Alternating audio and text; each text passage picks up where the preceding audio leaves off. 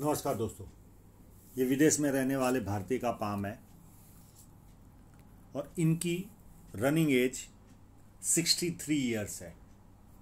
इनके कुछ सवाल है। इनके सवाल लेने के पहले मैं थोड़ी सी जानकारी दे दूँ, क्योंकि ये एनालिसिस थोड़ा सा छोटा होगा, इसकी लिमिटेशन है। एक तो इनका अंगूठा कोई मेडिकल प्रॉब्लम के कारण ओपन नहीं हो रहा। जब ये अंगूठा ओपन नहीं होता तो बहुत ज़्यादा जानकारी हम दे नहीं पाते क्योंकि सीधा फ़ोटो नहीं आता। तो इसकी कुछ लिमिटेशन है, पर इनका प्लस पॉइंट ये है कि इनके हाथ में मुझे कहीं पर भी राहु रेखाएँ शो नहीं हो रही है।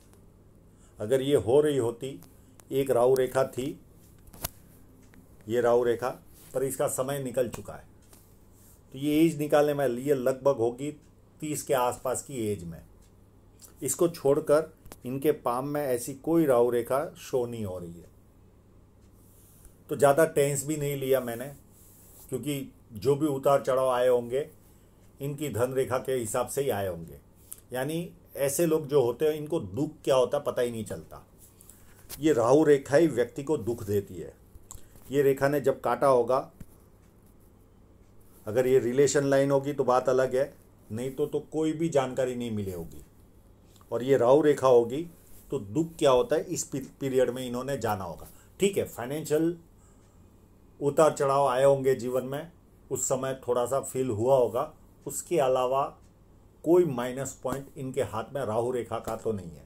तो ऐसे लोगों को दुख क्या होता है, पता ही नहीं होता। और ऐसा नहीं है कि इस हाथ में कोई एडवांटेज नहीं है, बहुत सारे एडवांटेज भी है इस हाथ में।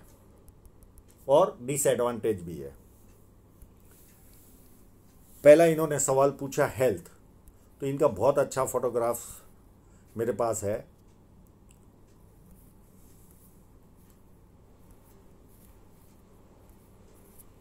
हैंग हो गया हाँ चला।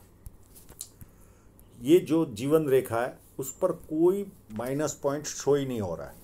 ये वर्तमान में सिक्सटी थ्री के आसपास है तो इस उम्र को हम यहाँ पर गिन लेते हैं।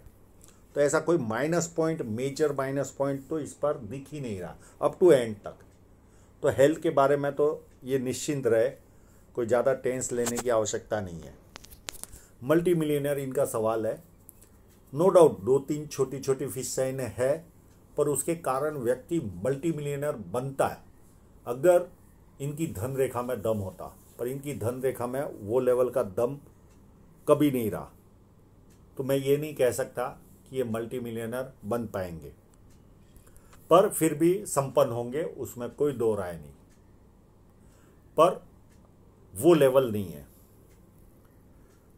नया काम आप कभी भी कर सकते हो, एक जगह पर आपको घाटा जाने का चांसेस है वो मैं एज बता दूँगा।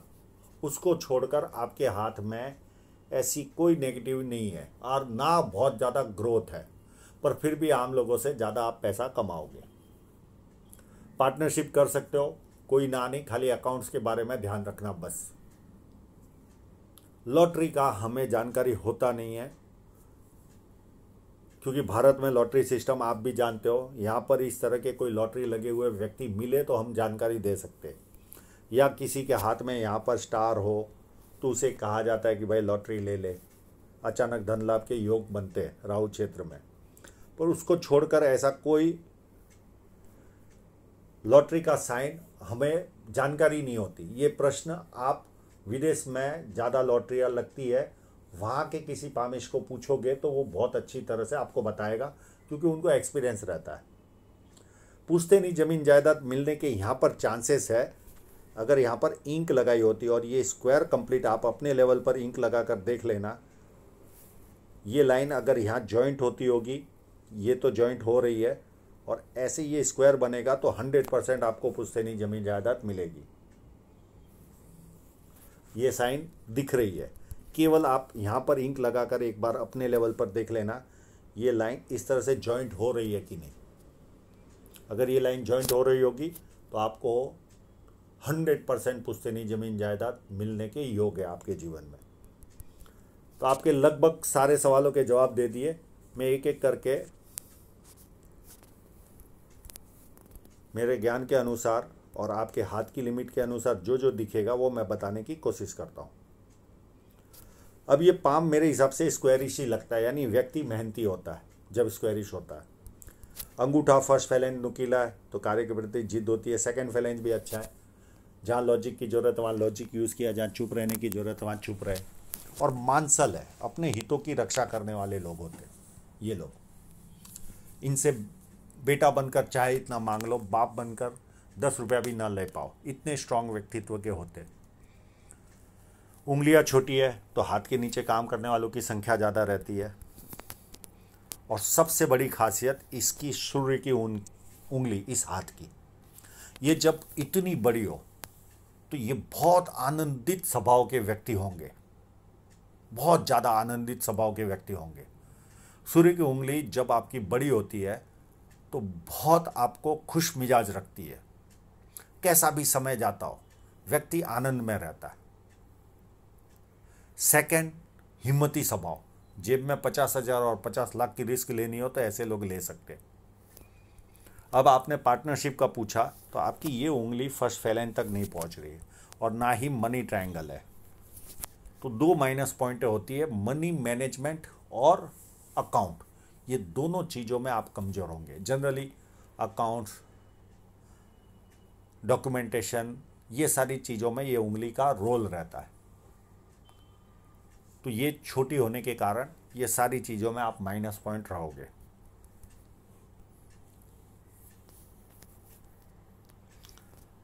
अब जो बुद्ध पर्वत अगर यहाँ से इतना उभार है तो व्यक्ति स्पष्ट वक्ता होता है। ये भी एक खासियत होती है उनमें। और नाम के प्रति ज़्यादा जिज्ञासा होती है। छोटा भी कार्य करे तो व्यक्ति को नाम मिलना चाहिए, इस तरह की भावना रहती है। यहाँ पर खड़ी लाइन है तो आपको बुढ़ापे में चिंता करने की आवश्यकता ही नहीं है। आपके जीवन में जब तक जियोगे, तब तक धन आता रहेगा। और बिज़नेस माइंडेड भी बनाती है। सबसे अच्छी खासियत देखिए, इतनी बड़ी यश वाली साइन है।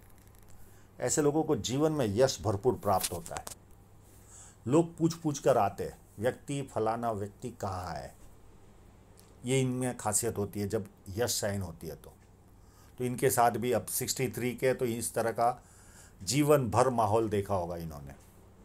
अब इनकी जो फ़िश साइन है उस पर चलते हैं।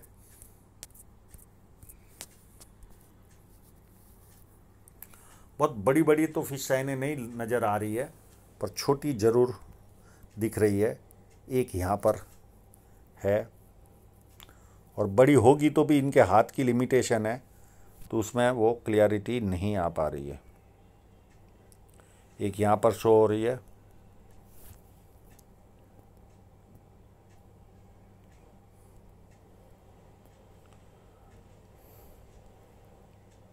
और एक साइन ये स्क्वायर, अगर ये कंप्लीट है 99.9 ये 100 परसेंट कंप्लीट ही है तो ऐसे लोगों को इंटरनेशनल लेवल का काम होता है। इंपोर्ट, एक्सपोर्ट, इस तरह काम होता है, ये स्क्वायर से फैला हुआ काम का जिसे कहते हैं। एक ट्रायंगल भी है यहाँ पर, ये भी आम लोगों से ज़्यादा व्यक्ति को खुश रखता है और धनी बनाता है। और जिसके हाथ में स्क्वायर होता है, उनकी जो लाइफस्टाइल होती है, वो अपने इनकम से ज़्यादा अच्छी तरह रहते हैं। यानी आसपास के लोगों को लगता है, इनके जीवन में तो बल्ले बल्ले है। तो ये एक वस्तु रहती है और ये यश साइन देखिए, कितनी सुंदर लग रही है।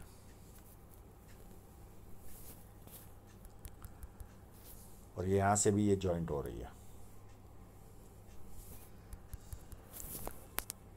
एक और फ़िश साइन है इनके हाथ में, जो बड़ी मुश्किल से, बहुत मेहनत के बाद दिखी है, वो ये देखिए। ये यहाँ पर। और ये दोनों फ़िश साइनें कोई बहुत बड़ी साइनें नहीं है, छोटी है। हाँ कहीं गलती से कोई रह गई हो तो ये मल्टी मिलियनर का जो प्रश्न है, उसमें हमसे गलती हो सकती है।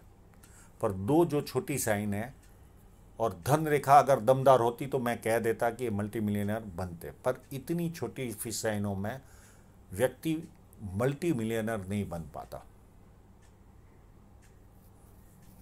और ये जब क्रॉस भी बनता है, अगर ये क्रॉस बनता होगा तो ऐसे लोगों को तीन माइनस पॉइंट होते या तो पिता से मतभेद, या पिता से दूर रहना पड़ता है, या पिता का साया छोटी उम्र में जाता है। और बार बार जीवन में थोड़े से आगे बढ़े, ना कोई ना कोई टांग खींचने वाला मिलता है या हमें पीछे इस तरह के हालात पैदा होते कि हमें पीछे आना पड़ता है। इसका मैं उपाय इनको दे दूँगा। तो ये दो साइनें है इनके हाथ में। अब इसी फोटोग्राफ से हम इनका पूरा आकलन करने की कोशिश करते हैं।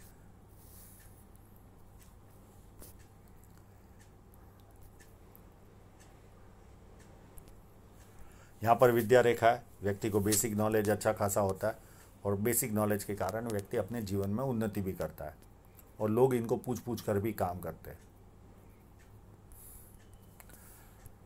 शनि पर्वत अगर इसी तरह, देखो इनके हाथ में थोड़ा सा फॉल्ट है अंगूठे के कारण तो हर जगह पे थोड़ा सा किंतु परंतु हो जाता है। अगर इसी तरह थोड़ा सा बीच में दबा होगा तो ये ऐसे लोगों को एक तो इंटरेस्ट पे करना पड़ता है चीज़ें देरी से मिलती है। और हार्ड वर्क करना होता है। ये तीन माइनस पॉइंट होते हैं। अच्छा इसका मतलब ये नहीं इंटरेस्ट पे कर रहा है तो व्यक्ति कमज़ोर है, इसके लिए इंटरेस्ट पे करता है। पर उसको जीवन भर इंटरेस्ट पे करना ही होता है, चाहे कितनी भी समृद्धि हो।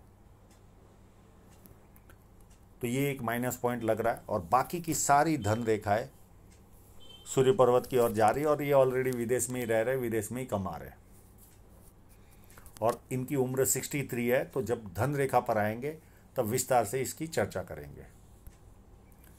जुपिटर माउंट अगर ये थोड़ा सा भी अंदर की तरफ़ आता है तो पारिवारिक समस्याएँ होती है, और नहीं आता तो कोई प्रॉब्लम नहीं। और जुपिटर माउंट पर कोई साइन होगी भी तो हमें देखने की कोशिश करते हैं, क्योंकि ये अंगूठा जब इस तरह से होता है तो जुपिटर माउंट कहाँ से उभार है, पता नहीं चलता। एक कंटिन्यू चलने वाली लाइन दिख रही है। और हॉरिजॉन्टल लाइनें दिख रही है। तो ये ऐसे लोग पामेस्ट्री एस्ट्रोलॉजी में ध्यान जाता है। और मल्टीपल इनकम के सोर्स भी क्रिएट होते हैं अगर दो लाइन हो तो। और ये लाइन व्यक्ति को कंटिन्यू प्रोग्रेस देती है और खराब भी समय आए तो व्यक्ति टिका रहता है। अंदरूनी मंगल का पता नहीं चल रहा है किस तरह का है, क्योंकि अंगूठा ऊपर की तरफ़ अप है। बाहरी मंगल अच्छा है, जब किसी से मिलेंगे एनर्जी के साथ मिलेंगे, सामने वाला कंफर्टेबल फील करता है। चंद्र पर्वत, पर अगर ये स्क्वायर साइन कंप्लीट होगी तो सच्चाई पसंद इंसान होते हैं, इनको झूठ पसंद नहीं आता। और जीवन रेखा से निकलने वाली शाखा, ये यात्रा भरपूर करवाती है, और विदेश सेटलमेंट भी करवा दी, इसी लाइन ने। और चंद्र पर्वत अच्छा है तो पानी अच्छा लगता होगा, दूध से बनी चीज़ें अच्छी लगती है। विदेश से संबंध आता है। रिफाइंड सोच होती है और नई नई चीज़ें करने का शौक होता है। शुक्र पर्वत पर भी कोई माइनस पॉइंट नहीं है। काफ़ी अच्छा शुक्र पर्वत है। तो ऐसे लोग कपड़े अच्छे पहनते हैं, अच्छी तरह रहते हैं। इस तरह का फल होता है। पर यह भी अंगूठा पूरा ओपन ना होने के कारण एग्जैक्ट किस तरह का है वो पता नहीं चल रहा। अब इनकी हृदय रेखा, ये दोनों के बीच का पाठ, और ये शनि पर्वत से शुरू हो रही है। शनि पर्वत से जब हृदय रेखा शुरू होती है तो व्यक्ति को तीन ही गुण होते हैं। सुबह आँख खोलते ही कैसे पैसा कमाना, वो गुणधर्म होता है। सेकंड होता है कामुक भावना, और तीसरी चीज़ रहती है कभी कभी फ़िज़िकल बनते यानी हाथ पैर उठाते उसको छोड़कर कोई स्वभाव में इनके कोई अंतर नहीं रहता। और ये जो लाइन है, ये थोड़ी सी डार्क है तो झंझटें रहती होगी जीवन में। एकदम मुक्त होकर व्यक्ति जी नहीं पाता। जिनकी हार्ट लाइन थोड़ी सी मोटी होती है। इतनी भी मोटी नहीं है, पर फिर भी मोटी है। माइंड लाइन को देखें तो पूरी जुपिटर से स्टार्ट हो रही है। तो व्यक्ति महत्वाकांक्षी होता है, एम्बिशियस होता है। और यहाँ तक ये काफ़ी डार्क चली। ये अंदाजित, एकदम एग्जैक्ट पीरियड तो नहीं बता पाऊँगा, पर लगभग 50 तक बोझ रहा होगा इनके, या फोर्टी फाइव तक भी गिन सकते, क्योंकि सीधा हाथ नहीं है। लिमिटेशन आ जाती है, एक अंगूठे के कारण। तो जब डार्क होती है तो कहीं ना कहीं दबाव रहता है। तो हो ना हो फोर्टी फाइव या फिफ्टी तक इनके जीवन में दबाव रहा होगा। और उसके बाद धीरे धीरे दबाव थोड़ा सा हल्का हुआ होगा। और ये अप टू यहाँ तक जा रही है। तो काफ़ी ज्ञान बटोरने वाले लोग होते फालतू समय बर्बाद नहीं करते, कोई ना कोई ज्ञान लेते और काफ़ी बड़ी माइंड लाइन है तो अपने बुद्धि के बल पर अच्छा विकास करते अब जीवन रेखा पर एक लाइन यहाँ पर शो हो रही है, पर इसकी एज निकालने में, अंगूठा ओपन नहीं हो रहा तो एज निकालने में तकलीफ़ होती है। और ये लाइन यहाँ पर टच हो रही है। तो ये दो लाइनें हैं। अगर यहाँ पर शादी हुई होगी इनकी तो ये राहु रेखा नहीं है, नहीं तो ये राहु रेखा है। और ये अंदाजित तीस के आसपास का समय होगा। दो तीन साल इधर उधर। इस पीरियड के आसपास की ये लाइन है। और उसके बाद एक दो ऑफशूट भी है, पर उसकी एज निकालने में, यानी ये चार पाँच सालों के बाद, या तो ये राहु रेखा या रिलेशन लाइन के बाद, यहाँ पर ऑफशूट मिला है पाँच छः साल के बाद। और उसके पाँच छः साल के बाद और एक ऑफशूट है। और ऐसे ऑफशूट मुझे कंटिन्यू दिखाई दे रहे पर इनकी एजिंग करने में तकलीफ़ आ रही है। तो ये ऑफशूट इनको बेनिफिट दिलाए होंगे और ये ऐसे लोग यात्रा ज़्यादा करते हैं। और जीवन रेखा पर ऐसा कोई माइनस पॉइंट मुझे नज़र नहीं आ रहा। और जिनकी राहु रेखाएँ नहीं होती, उनको दुख क्या होता है पता ही नहीं होता। ये भी एक खासियत होती है। ठीक है, धन रेखा के डिस्टर्बेंस से कोई उतार चढ़ाव आते, वो अलग बात हो गई। पर राहु रेखा आपको एक्चुअल में दुख क्या होता है, वो पता करता है। तो बहुत नसीब वाले लोग होते हैं जिनकी राहु रेखाएँ नहीं होती।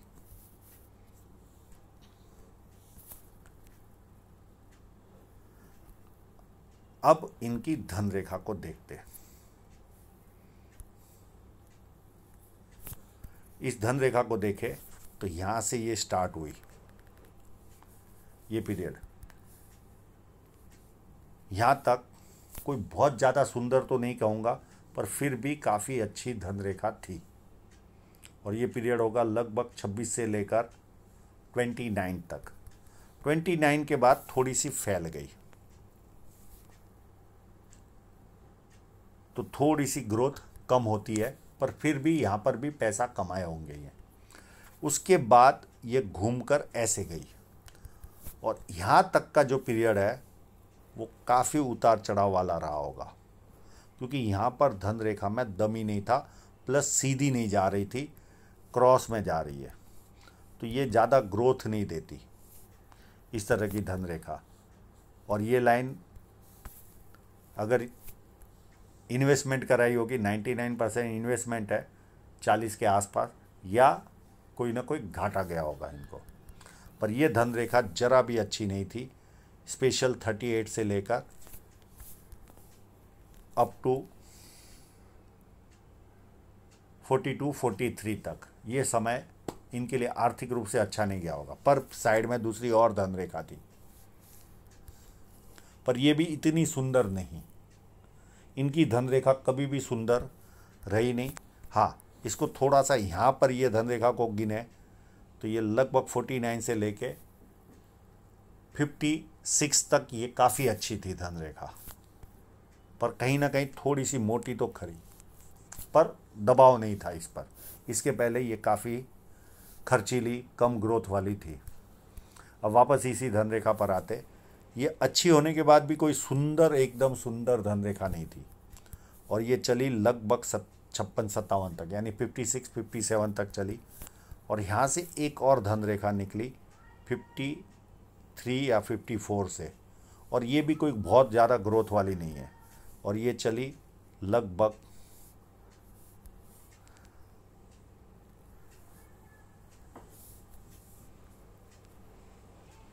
ये लगभग 63 64 तक चलेगी। उसके बाद हो सकता है ये बिज़नेस ये स्टॉप कर दे। बीच बीच में और धन रेखाएँ थी। दो दो, चो, चार चार सालों के लिए, पाँच पाँच सालों के लिए कोई वर्क मिला होगा इनको।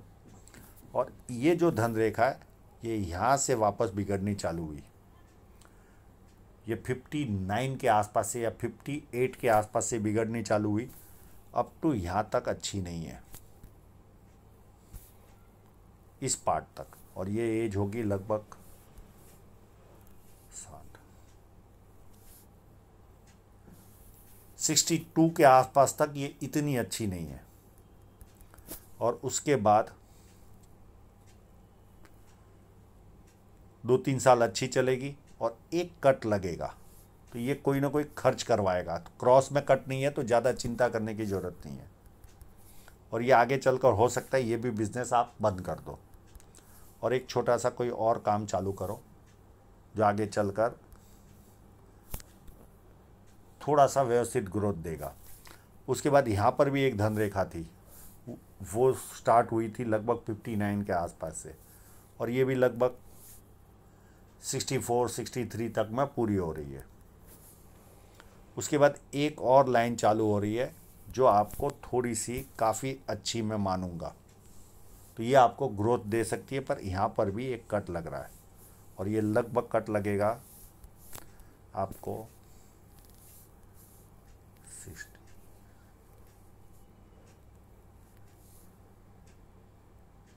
सेवेंटी थ्री, सेवेंटी फोर के आसपास आपको ये कट लग सकता है।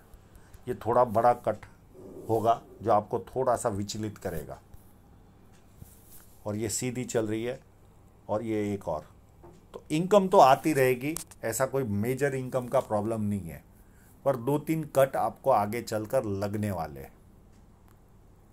क्योंकि जो भी है कट आपके धन रेखा पर है, इसके अलावा कोई माइनस पॉइंट नहीं है। और बहुत स्ट्रांग धन रेखा कभी नहीं है आपकी। तो आशा रखता हूँ इनके सभी प्रश्नों के जवाब इनको मिल गए होंगे और आप लोगों का पूरा वीडियो देखने के लिए बहुत बहुत धन्यवाद।